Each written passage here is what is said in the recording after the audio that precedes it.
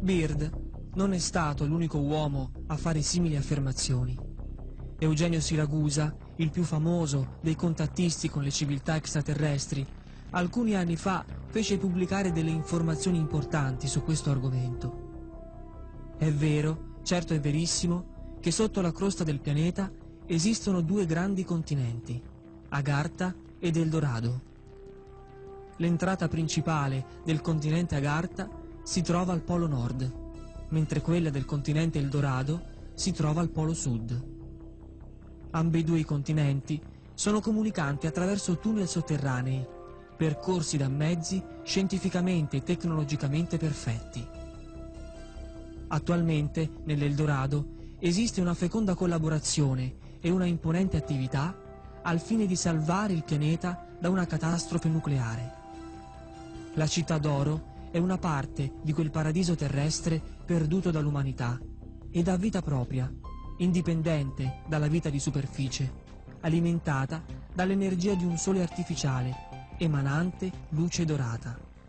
Essa si trova nel cuore del pianeta, con una ricca e lussureggiante vegetazione, con laghi e fiumi di acqua cristallina e purissima, con animali mansueti e servizievoli, con edifici confortevoli, tutelati da fantascientifiche strutture di sicurezza contro eventuali atti vandalici dei terrestri e istruiti da dinamismi particolari. Sappiamo che il popolo dell'Eldorado è composto in maggioranza di terrestri, accuratamente scelti, viventi in fraterna comunione con abitanti di altri pianeti, facenti parte della Confederazione.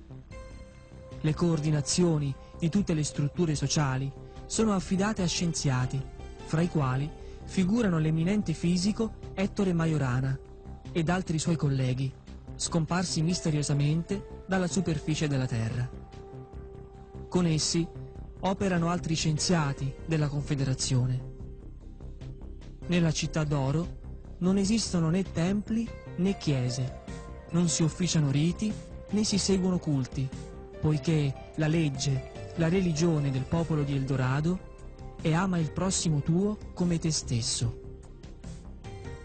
È giusto ricordare l'opera salvifica del grande scienziato siciliano Ettore Majorana, che si adoperò in tutte le maniere per far retrocedere la pericolosissima sperimentazione sull'atomo, iniziata dal suo amico Enrico Fermi. È da ricordare che scomparve misteriosamente nel marzo del 1938. Col passare degli anni, le regioni polari sono state studiate anche con l'aiuto dei satelliti artificiali. Nel 1969 il satellite ESSA-7 riuscì a fotografare il movimento dinamico dell'apertura polare. Questa apertura si apre progressivamente, aumentando di dimensione, sino a raggiungere il diametro massimo che corrisponde a circa 2400 km. Ecco quindi come si possono spiegare i miraggi delle terre di Croker e di Bradley, come pure le esperienze dei vari esploratori, non ultima quella dell'ammiraglio Beard.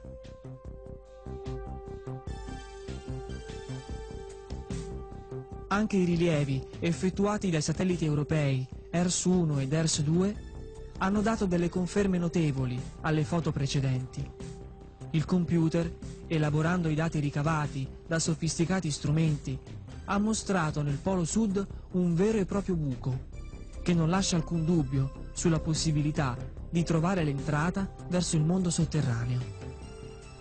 Da tutte le informazioni ricevute, possiamo sintetizzare la struttura della Terra come composta da una crosta di spessore di circa 1250 km, nella cui parte centrale risiede il magma incandescente. Al centro del pianeta troviamo il Sole centrale artificiale, che alimenta la vita nei due continenti.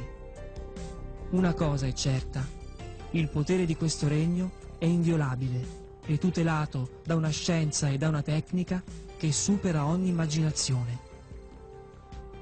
Come ha detto Eugenio Siragusa, Eldorado, in un futuro assai prossimo, riemergerà dal cuore del pianeta per accogliere il nuovo popolo e la nuova civiltà.